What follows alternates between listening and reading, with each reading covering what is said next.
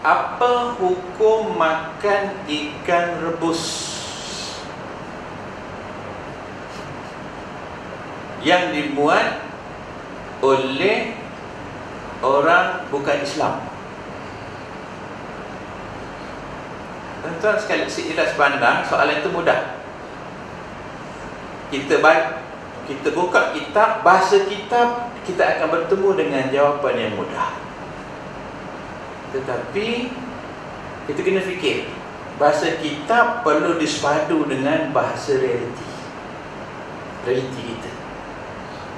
Kalau bahasa kitab dalam kitab Kifatul Akhir sebagainya kan dia katakan kalau ikan itu kurang dari saiznya kurang daripada dua jari maka bolehlah dimakan walaupun diproses dengan perut dan sebagainya kurang daripada dua jari dia anggap ikan yang kecil.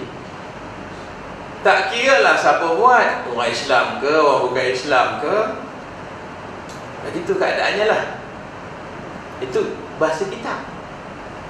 Tetapi kita kena baca bahasa masyarakat. Bahasa masa depan umat Islam? Saya jawab. Saya jawab Tuan-tuan sekalian. Pertama Makan ikan rebus itu Kita dah letak dalam hierarki apa dalam hidup ini? Dalam hidup ini kita ada hierarki kita. Ada dipanggil Doruriyat Ada dipanggil Hajiyat Ada dipanggil Tahsiniat. Doruriyat ini Kalau tak makan mati. Kalau tak ada benda ni mati. Hadiat Kalau tak ada benda ni boleh hidup tapi payah. Tahsiniat ni tambah-tambah je lah Nak bagi, nak bagi lebih cantik Saya tanya Kalau tak makan ikan rebus mati tidak? Banyak ikan lagi kan tak rebus ikan kering ikan sebagainya Itu Yang kedua saya kata Di tempat kita di Poh sana ni sudah ramai pengusaha-pengusaha orang Islam sendiri mengusahakan ikan rebus siap-siap buang perut, buang tahi ketika proses. Pergi saja pasar tadi ditulis besar dia punya tu. Ikan rebus keluaran bumi putra dijamin halal dibuang perut.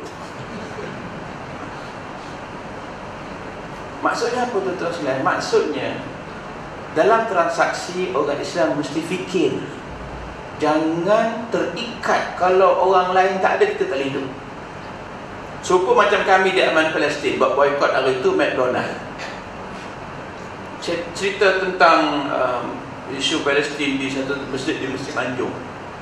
Dia kata Ustaz kalau Ustaz boycott McDonald sepatutnya Ustaz buat satu kedai Aman Palestin buat satu lagi kedai yang jadi alternatif. Orang Islam boleh makan di kedai itu. Saya jawab balik jawapan sama tadi. Saudara tak makan ayam McDonald mati ke kadang-kadang kita tersalah letak.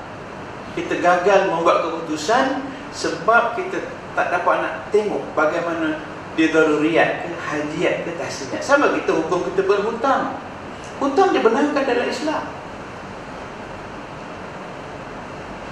Tapi kita kena fikir mengapa kita berhutang? Masuk tahap mana? Kalau daruriat wajib hutang nak bedah kalau tak bedah besok lusa meninggal. Terpaksa berhutang. Itu tak ada masalah. Tapi kalau berhutang untuk tahsiniat sehingga membebankan itu hukum yang lain.